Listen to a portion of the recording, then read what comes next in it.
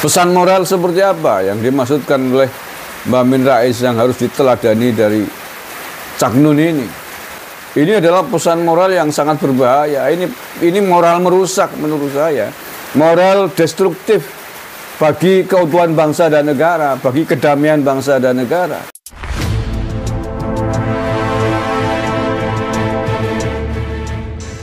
Assalamualaikum warahmatullahi wabarakatuh. Salam saudara, salam sejahtera untuk kita semuanya. Salam, Om Swastiastu, Namo Buddhaya, salam kebajikan rahayu.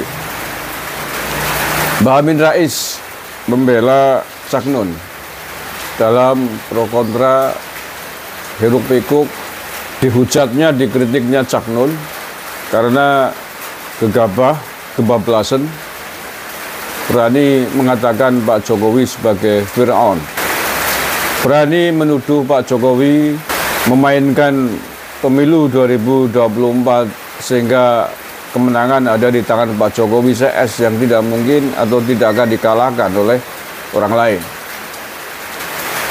Mbak Amin Rais mendukung Cak Nun dengan mengatakan untuk mengambil hikmah pesan moralnya begitu. Ya kalau menurut saya Mbak Amin Rais ngerewangi berpihak kepada Cak Nun dalam konteks ini ya, ya saya tidak terlalu heran. Saya uh, berpikir itu pastilah tidak mungkin Pak Mbak Amin Rais berpihak kepada Jokowi dalam hal ini tidak mungkin.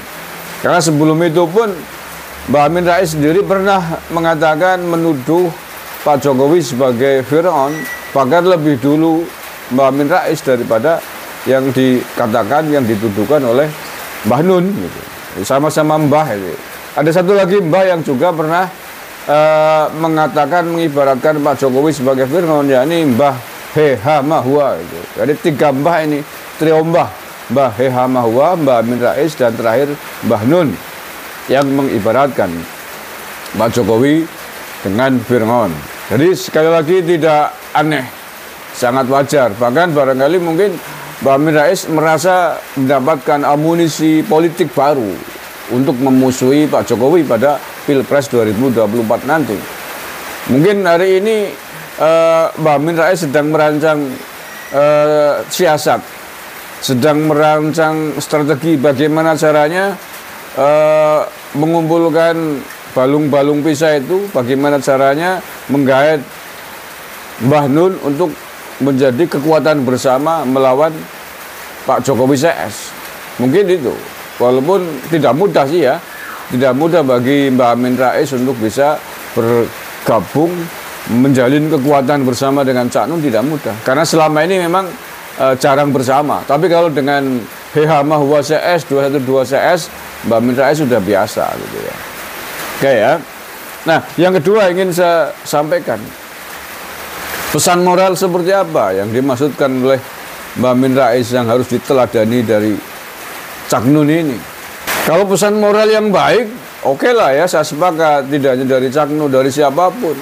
Tapi kalau konteksnya tudingan Cak Nun terhadap pemerintahan Jokowi, terhadap Pak Jokowi sebagai Firngon, sebagai sosok penguasa yang telah men-setting Pilpres 2024, menurut saya ini adalah pesan moral yang tidak perlu ditiru. Ini adalah pesan moral yang sangat berbahaya. Ini ini moral merusak menurut saya.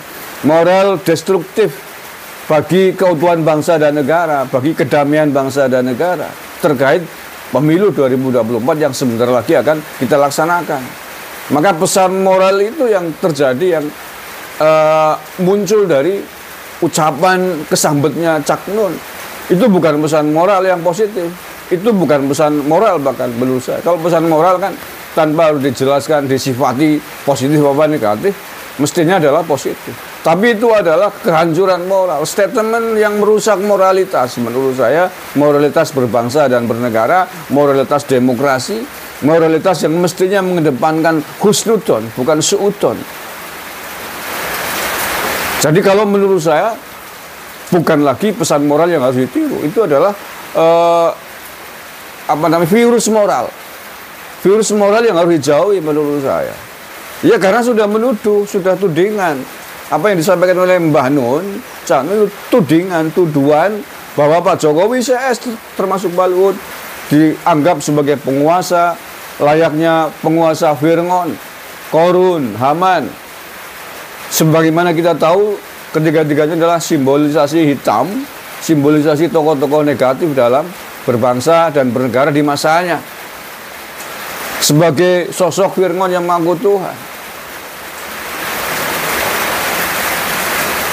Apakah Pak Jokowi punya sifat-sifat seperti Fir'aun? Saya kira jauh sekali. Bagaimana mungkin Cak Nun kemudian menuduh Pak Jokowi mensistem mensistematikan telah men-setting mengatur Pilpres 2024 sehingga tidak akan bisa dikalahkan oleh yang lain. Ini kan tudingan. Sudah justice ini, sudah klaim, sudah fitnah menurut saya sehingga tidak perlu ditiru yang model-model begitu. Kecuali kalau sifatnya kewaspadaan. Cak Nun menyampaikan agar kita semuanya waspada sebagai bangsa negara, sebagai bangsa dan negara, waspada terkait dengan potensi-potensi buruk, potensi-potensi negatif menjelang Pilpres 2024. Oke, saya juga sepakat. Waspada misalkan, mari kita bersama-sama waspadai kekuatan-kekuatan yang mungkin akan merusak demokrasi di negara ini. Yang mungkin akan men-setting pemilunya besok. Yang mungkin akan berlaku curang, yang akan berlaku tidak adil. Kita kawal bersama, kita curigai, dan kita lawan bersama. Kalau itu konteksnya, kalau itu maksudnya saya sepakat dan saya ikut di barisan itu. Tetapi kalau sudah mengatakan Pak Jokowi, Pak Luhut ini adalah suatu sistem bersama yang dikuasai semuanya, keuangan sistemnya, perangkat-perangkat politiknya, sehingga kamu tidak akan bisa menang itu tuduhan. Itu fitnah, itu justice yang harus justru kita lawan. Karena akan membuat kotor. Karena akan memprovokasi orang-orang yang tidak tahu di bawah. Seolah-olah apa yang dikatakan oleh Mbah Lul itu benar. Seolah-olah bahwa pemilu memang sudah disetir sudah disetting sedemikian rupa sehingga tidak mungkin ada pihak lain yang mampu mengalahkannya dalam sistem demokrasi ini.